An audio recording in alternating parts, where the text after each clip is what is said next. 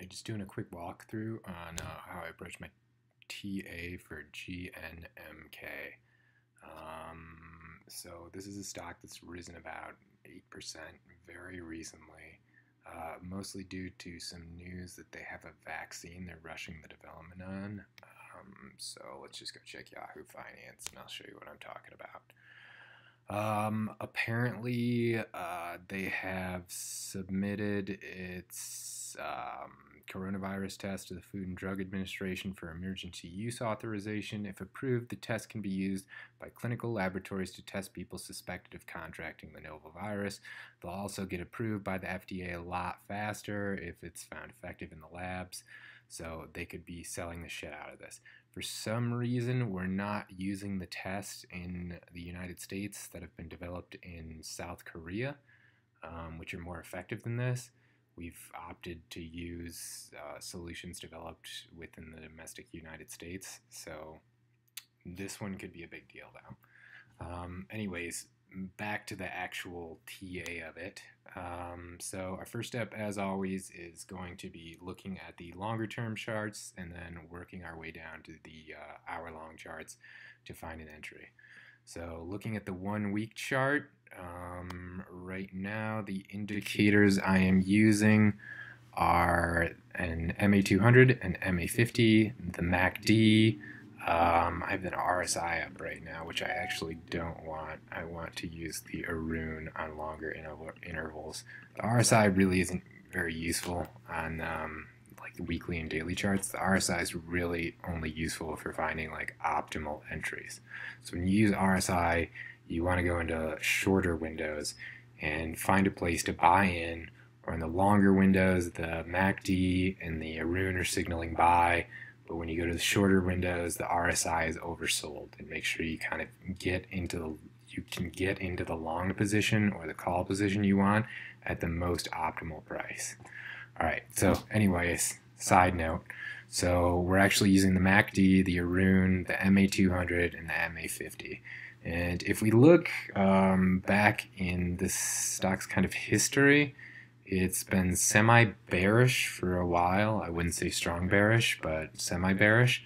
Uh, you look at the MACD, um, so it's kind of slid sideways for a while, aside from this huge high volume buy-in right here and that's mostly because of the news we were talking about just a second ago.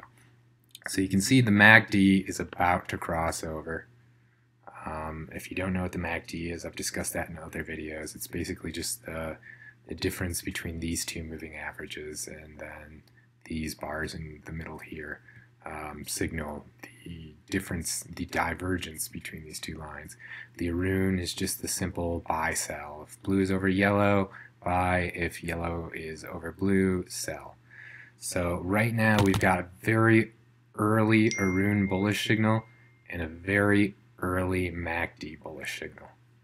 Um, all right, so if we actually, the next step here is to plot your supports. Uh, we've done this in other videos. Basically, we're going back and looking through for periods of particularly high volume and plotting a horizontal line along the top of those bars just so we're aware of when there was a particularly high interest in buying or selling the stock in the past. Um, so you can see with uh, this one back here, um, it's way back here, sorry about that.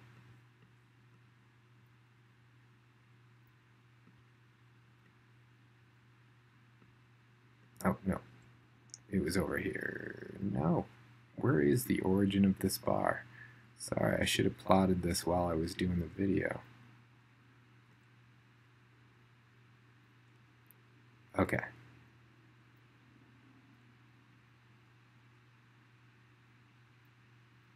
So I believe I was doing this one super zoomed out, and it was supposed to be the top of this bar. I didn't quite get it there, so I'm going to move that one down a little bit. You can see how that was particularly high volume, so we plotted a support there. Uh, over here we have a particularly high volume, so we plotted a line on top of that bar. And then going back even farther, here is an area of particularly high volume, so we put a horizontal line on top of this bar, And then I think we went way back in history for this one. Yep, right there. And I accidentally moved this one again, so I gotta move it back. Alright, there we go. We're all set. So analysts have set the price target for this anywhere between 8 and $11. Um, conservatively, if you're a short-term trader, I would like to get in when the RSI starts to trend below 55 on lower intervals and then when it gets closer to around this resistance at uh, 7.59 I'd honestly like to be even more conservative about that and probably get out around 7.5 um, alright so let's look at the daily chart and see if we're gonna have an entry anytime soon so our RSI right now is around 66. It looks like it's starting to go sideways down. We've got sell signals on the Aroon. The MACD is still a bullish signal. So we might find an entry pretty soon here if we start trending sideways a little bit, which is what I hope can happen so I can get a lower entry. I'm hoping to get in somewhere around 550. Um, And all right, I think that's about it for my analysis on uh, GNMK. Um, actually, as a bonus to this one, I think I'm going to go into SPY real quick because this one was a pretty short one. So I've been watching and day trading SPY for quite a while. Uh, SPY has just absolutely plummeted below all of the support and resistances I've plotted and I have not been entirely sure what's going to happen next. If you can see here, the last resistance I plotted was around, uh, let's see, I need to shrink this chart a little bit.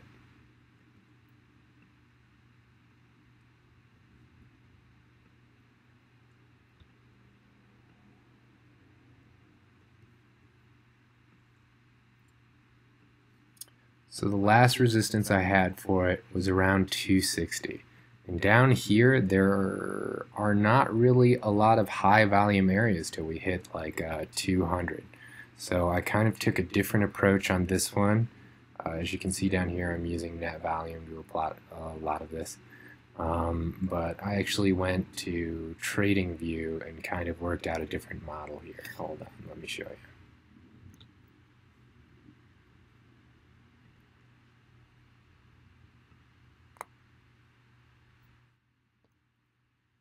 So um, this, I am using the indicator VPVR.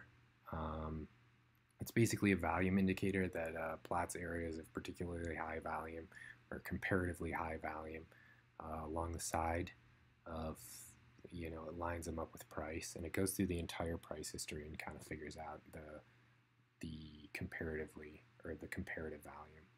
Um, so using that, I kind of came up with a new, a few new uh, support and resistances here.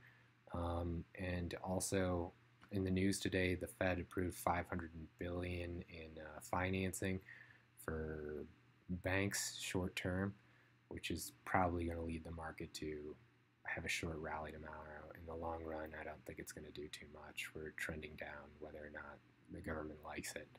Um, but using this, uh, I found some moderately high, if you look back um, compared to the entire volume history here, we have some moderately strong support around the 256 area. Uh, I think if we have a strong enough downward trend, we're actually, we already did get right through that. So um, I stand corrected. And then the next support uh, is around 245.30. Um, I don't know how the market's going to react to the 500 billion in financing. I, like I said, I imagine there's going to be a small rally tomorrow. So I've kind of plotted this as a target for re-entry for puts for me tomorrow. I'm hoping we see a rally to a price around uh, 275.90 so I can get a cheap put. Anyways, um, I hope you found that helpful, making sense of the absolute collapse of the market today. I know we had a, a circuit breaker, so that was pretty crazy. Um, and if you're interested in the program, I used to do all these charts. I just use Webull, which is the same as my broker. If you want to hit that up, there's a link down below, uh, as well as my Twitter, all that other bullshit. So check it out. Thanks for watching.